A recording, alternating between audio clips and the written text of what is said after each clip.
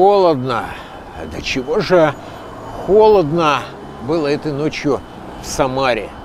До костей пробирал извозчика ледяной ветер. И никого на улицах ни души. Слышно только, как цокают по булыжнику копыта лошади. И чего ради ездит Митяй по пустым улицам? На что надеяться? Спроси его об этом. Ничего вразумительного не ответит. Только пробурчит что-то невнятное. А у нас на дворе осень 1921 года. Эдуард Кондратов. Роман «Жестокий год». Тебя расстреляли. Меня расстреляли. И выстрелов трели, ударились вдали. И даль растерялась, расстрелилась даль. Но даже и дали живому не жаль. Трижды проехал Митяй в Советской улице от площади до театра. И все зря. А ведь это главная улица. Он сколько на ней гостиниц, ресторанов. Правда, возле меблированного дома Санрема его окликнули двое. Ну уж больно подозрительными показались Митяю эти фигуры. Не очень-то они были похожи на припозднившихся гуляк. Худые, фуражки на глаза. С такими поедешь куда-нибудь в Запанское, и все, готов. Тебя канаву, а лыску под нож. Собак нынче и тех всех в Самаре поели. А уж лошадь – настоящее богатство. Вот потому и стеганул Митяй лыску. А ну, давай, уноси, родимая. Благо, что по асфальту на другой улице догнали бы лихие люди. Что ж, куда теперь податься? На вокзал? Там только голодные беженцы.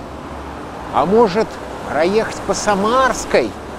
Подумал Митяй.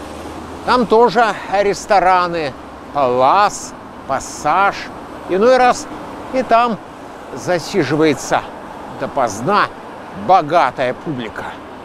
Свернув на Петроградскую, Митяй именовал два квартала магазинов, спрятавшихся за закрытыми ставнями, и повернул на Самарскую. В доме заезжих светились окна, однако клиентов там не было.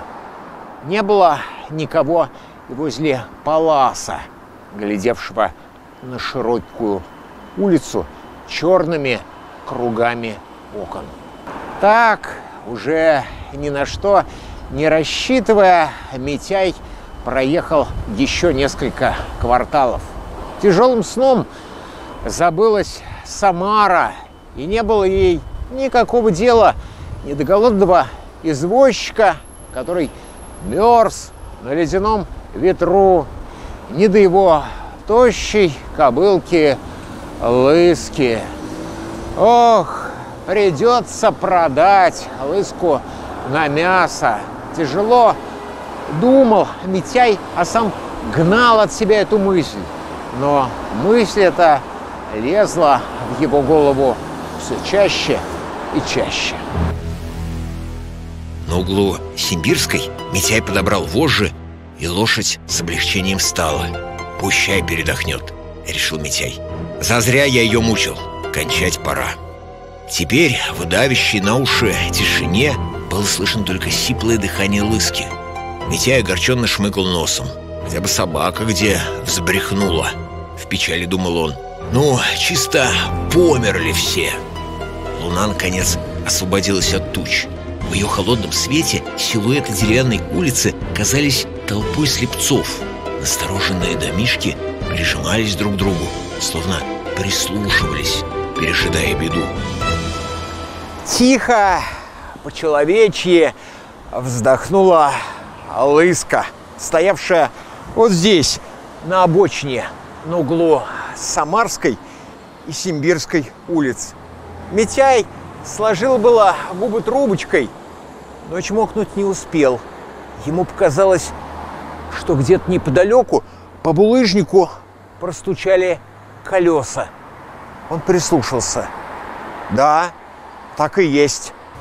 Бросив вожжи, Митяй спустился на землю. Не любопытство, а опасения толкали его посмотреть, кто там. Ладно, если извозчик, а то, а вдруг бандиты, а грабители, а банде Курова, которая наезжала в Самару на семи подводах, в городе говорили много. Приедут вот так, ограбят, ищи свищи. Не дай бог заметят лыску. Прощай тогда, лошаденка. А то и одной только лыской не отделаешься. Что им, бандитам, Митяева жизнь? С замиранием сердца Митяй выглянул из-за угла и рассмеялся. Эх ты, кого испугался, Митя? Этих вот чапанщиков, что ли? И в самом деле под газовыми фонарями кошелевских бань он увидел троих или четверых мужиков. В темноте было не рассмотреть в крестьянском рванье. Торопится, а вишь ты, на вокзал, подумал Митяй, вздохнув. Но Митяева спокойствие как рукой сняло, когда телега остановилась возле второго от угла дома. Мужики шустро соскочили с телеги. Не по-крестьянски соскочили, делово. Оглянулись и быстро метнулись к забору. А когда над воротами зашевелился силуэт человека, перелезающего внутрь, во двор, сомнений у Митяя уже не оставалось. Грабители. Этот дом, второй от угла, хорошо был знаком ему.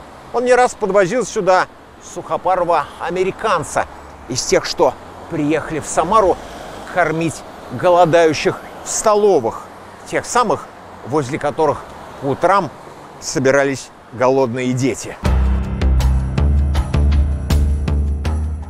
Стараясь не шаркать подшитыми валенками, Митяй подбежал к пролетке и взлетел на козлы. Господи, благослови! Только б грабители не приметили! Господи, благослови! Ох, до чего ж громко застучала копытами лыска! Скорей! Скорей разворачивайся, родная! Скорей отсюда, покуда живы!» Только на третьем квартале Митяй понял, что никто за ним не гонится, и не надо так гнать и портить лошадь. Успокаиваясь, подумал, что нелегко сейчас американцу, которого трясут бандиты. Неприятный он, супчик, и ночевые, скупой. Но а вдруг озлятся заморские господа и уедут из Самары. Сколько тогда народа напрасно пропадет с голодухи. Митяй даже не заметил, как дернул правую вожу, сворачивая на Предтеченскую.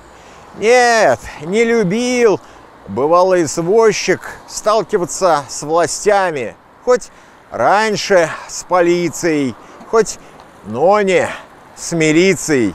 А уж ЧК боялся пуще огня, но все-таки подъехал к известному всем в Самаре дому на углу Николаевской и Предтеченской и остановил лыску. Да, там за нарядной в литых завитушках дверью размещалась таинственная и грозная самарская губчака. Кто-нибудь должен быть на месте, думал Митяй, давя в себе труса и поднимаясь на такое страшное для него крыльца чрезвычайной комиссии. И он не ошибся. Сам Губчака в самом деле кто-то был. И не просто кто-то, а наряд. «Стой! Кто идет?» – окрикнул Митяя возглас часового. Митяй остановился, как вкопанный. «Товарищ! Товарищ начальник!» – бросился Митяй к часовому. «Скорее надо, а то ведь беда!» Его трясло то ли от холода, то ли от возбуждения, а бороденка на его тощем лице казалась бороденкой опытного нищего. «Ты чего? Уйдут!» – стучал зубами Митяй. «Столовки прикроют!» «А ну давай, мужик, показывай!» – приказали чекисты, прыгая в пролетку. Хотел был Митяй пожаловаться, что устала за ночь лыска, что не сможет она сейчас скакать во всю свою невеликую прыть. Хотел, да не стал. И чекистский начальник больно грозен, и мешкать, само собой, нельзя, уйдут. Покрутил над головой вожжами, звонк шлепнул кобылу по костлявому крупу. «Пошла, милая!» Лыска будто поняла ответственность момента. И то, что пошла, поскакала. Квартала три оставалось до дома американца, когда одного из чекистов пробил тяжелый кашель. Он сдерживался из последних сил, но все-таки не сдержался и так громко забухал, что преследователи не услышали вовремя тарахтение телеги. Услышь они телегу, встретили бы бандитов почти выстрелами в упор. А получилось иначе и хуже.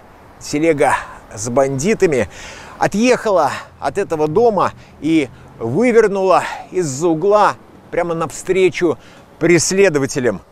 Пролетев мимо них так неожиданно, что Митяй не сразу сумел натянуть вожжи и броситься на лыски в погоню. «Уходят! Уходят! Гады!» – истошно вопил чекист, который успел трижды пальнуть вслед промчавшейся мимо телеги. И хоть стрелял он с близкого расстояния, но ночь есть ночь. Поди, попади. Из темноты ему ответили, и одна из пуль провизжала над самой его головой. На этом мы прервем наше путешествие в осень 1921 года, который помог нам осуществить писатель Эдуард Кондратов и его роман «Жестокий год». Роман о Самаре и самарцах, все действие которого происходит на улицах нашего города. Тебя расстреляли, меня расстреляли. Мы сердце о сердце, как время, сверяли. И как же я встану с тобою, расстрелян, пред будущим, звонким и новым апрелем. С вами был Михаил Перепелкин.